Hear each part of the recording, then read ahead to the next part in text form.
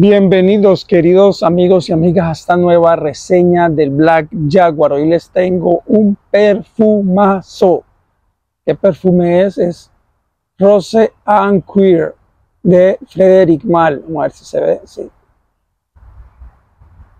Este es un perfume eh, que la nariz es Jean-Claude Helena, la casa es Frederic Mal y esto es un perfume que tiene un valor de, los perfumes de Frederic Mal para mí este tiene un valor extra bastante importante. Todos son extraordinarios todos son obras maestras unos más que otros pero este para mí es muy importante por lo que representa. Este es el, primer perfume que sacó Jean-Claude Helena después de que volvió a Frederic Mal y se retiró de Hermes ¿ok? Esto pasó en el 2019. El perfume salió en el 2019. Entonces es como, como, como el perfume que trajo de vuelta a Jean-Claude Elena a Frederic Mal. Bueno, mi gente, vamos a esprayarnos el perfume. Vamos a disfrutar de este perfume.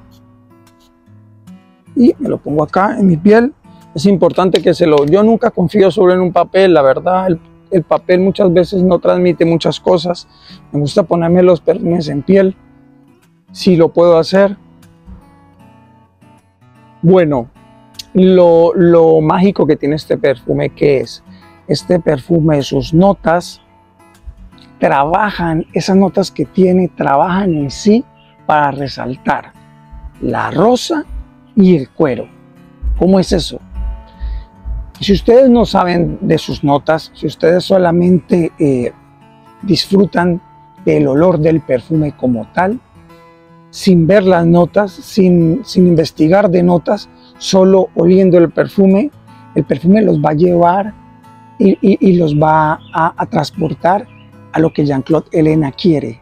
Jean-Claude Elena en esa salida es un perfume eh, eh, con la firma de Jean-Claude Elena en su salida lo huelen y Jean-Claude Elena, ven a Jean-Claude Elena ahí, esa firma de Jean-Claude Elena. ¿Ok? Después, cuando pasa un poco esa salida de, de, de, de ese geranio, esas grosellas negras y esa pimienta de Sichuan, que lo que hacen allí es eh, resaltar la rosa. O sea, es como si en su salida Jean-Claude Elena te muestra una rosa brillante, eléctrica, metalizada, carnosa, jugosa, ¿ya? Como un rojo intenso y brillante. Esa sensación potente, fuerte, mágica de la rosa, como una rosa eh, multiplicada, como, una, como un valor, eh, como si le subiera el volumen a la rosa, a todo lo que le quiere mostrar de la rosa, resaltar a la rosa. ¿Ok? Pero después llega Jean-Claude Elena y te da ese cuero. En su corazón te, te mete ese cuero sucio, ese cuero salvaje y te, y te da algo como quien dice, ten, te voy a dar esto. Y te sorprende, porque cambia totalmente esa salida de esa rosa carnosa, brillante, estridente, jugosa y entra ese cuero salvaje. Aquí es donde este perfume tiene eh, eh, una evolución distinta y en donde te, te, da como, como, como un puño con ese cuero y te deja como en shock. Dice, ¿qué es esto? O sea, sentías la rosa potente, un perfume como que donde la rosa fuera a ser eh, la principal, la protagonista, donde la rosa es todo, es como, como lo maravilloso de la rosa, la rosa con ese volumen alto, y de un momento a otro, ¡pum!, te llega ese cuero salvaje y cambia toda la historia del perfume. Y ese vetiver es para representar la tierra, para representar el aspecto de las hojas, del tallo de la rosa, como lo verde, ¿sí? Y ese olor terroso y, eh, eh, verde de la rosa. ¿ya? Y ese cedro está ahí para representar la madera, para representar que le da un aspecto un poco más oscuro también a este cuero, ¿no? Y hace que también este perfume dure más en el tiempo. Pero en sí, este, lo mágico de este perfume es que Jean-Claude Helena aquí quiso mostrar en este perfume eh, un perfume dual, un perfume donde, donde la rosa y el cuero eh, eh, llegan y chocan, ¿no? Esa rosa y ese cuero, esa rosa carnosa, brillante, potente, con todo el volumen, y llega un cuero salvaje y chocan. Pero ni el cuero domina a la rosa, ni la rosa domina el cuero, sino que pueden subsistir entre los dos paralelamente. Ya después de que llega el cuero a este perfume y de, pasa esa, esa potente salida de la rosa jugosa, carnosa, brillante, ya en su corazón eh, resalta el cuero y ya juegan un papel donde paralelamente esa rosa mágica y brillante y espectacular convive paralelamente con ese cuero salvaje. Es como si hubiera una línea imaginaria en su mente. Cuando ustedes están oliendo esto, es una locura, esto explota en su cabeza. Pero ustedes logran visualizar, es como si hubieran metido en, un en, este, en este frasco, hubieran metido dos perfumes. Un perfume de cuero salvaje y un perfume de rosa potente, eh, estridente y estarán en un mismo frasco.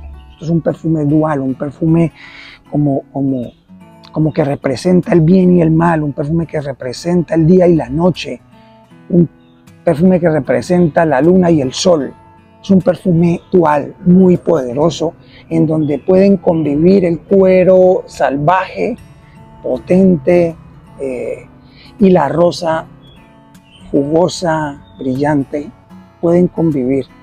Este perfume me recuerda mucho a un libro que se llama El Visconte de Mediado, que trata sobre una persona, su protagonista, que va a la guerra y un tanque le dispara y lo parte en dos.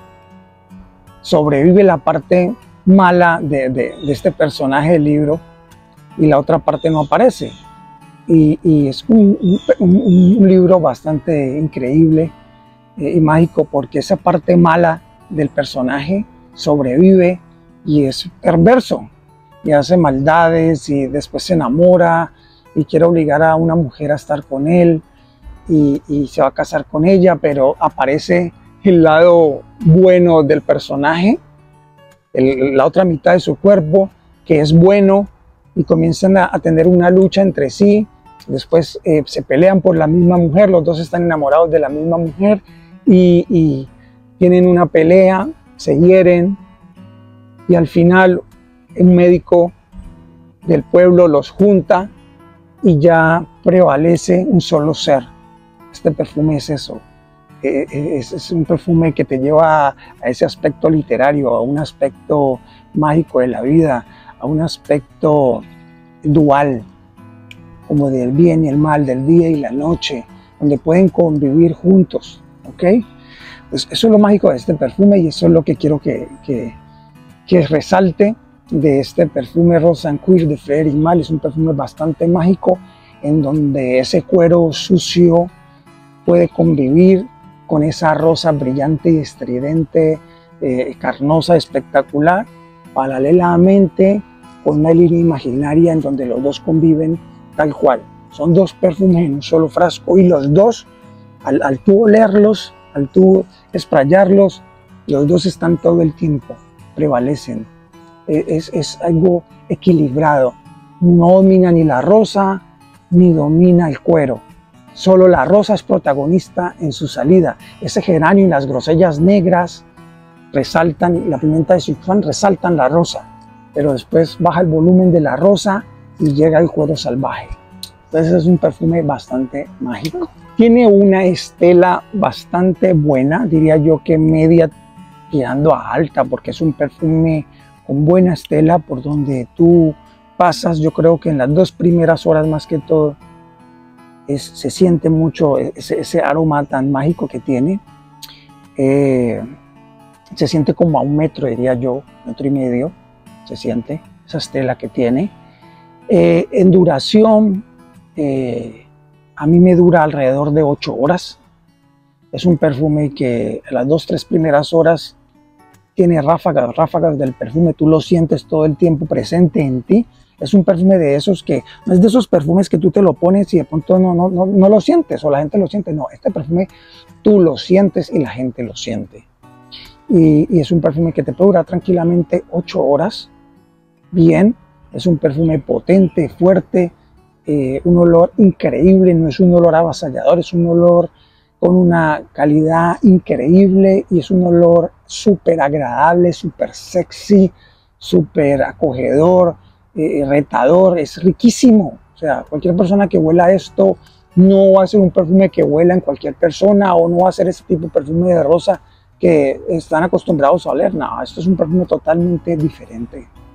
Entonces, su estela es buena, eh, eh, su proyección es buena, 8 horas, personas que les puede durar más, depende mucho de la piel, a mí me dura eso, 8 horas, pero es un perfume excelente, si te lo echas en piel y en ropa, pues te va a durar más, pero este es uno de esos perfumes que no puede faltar en una colección.